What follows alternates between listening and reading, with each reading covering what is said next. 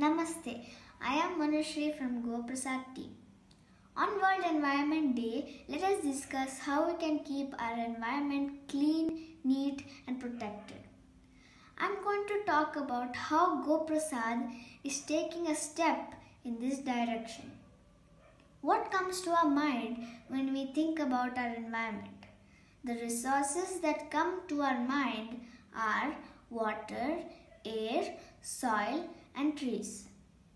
Let us first discuss about air.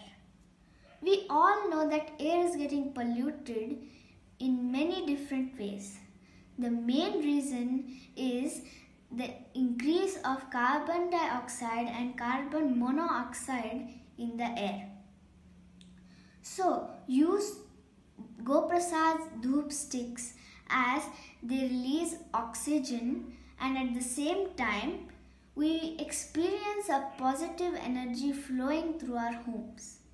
So, I request you all to stop using incense sticks as they release carbon dioxide which is released because of the burning of bamboo sticks. So, use GoPrasad's Dhoop sticks and enjoy the pure air. Let us then discuss about water.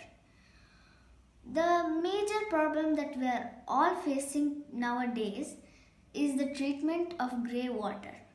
Use GoPrasad Dant bath powder and dishwashing powder so that it can be easy to treat grey water because we can use this grey water directly for watering the plants. This grey water is 100% chemical free. So now we Bangaloreans need not get up to see flames coming out of Bangalore lakes. Now let us discuss about soil. GoPrasad's products help in reducing soil pollution. Uh, they they are a replacement for the chemical uh, fertilizers and chemical pesticides in the form of natural manure and natural pesticides.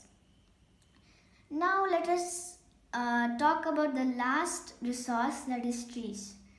Felling of trees for the fuel purpose can be reduced to a great extent by using GoPrasad's GoCast and Gomaya cakes.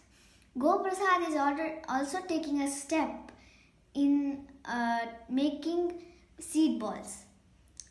All GoPrasad's products use desi cow's dung and urine that is known as Gomutra and Gomaya as the base products.